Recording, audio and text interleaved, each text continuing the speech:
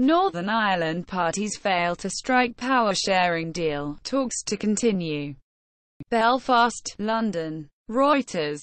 The leaders of Northern Ireland's two main political parties said on Tuesday talks on a new power-sharing executive in the British province had broken down and no agreement was expected in the near future.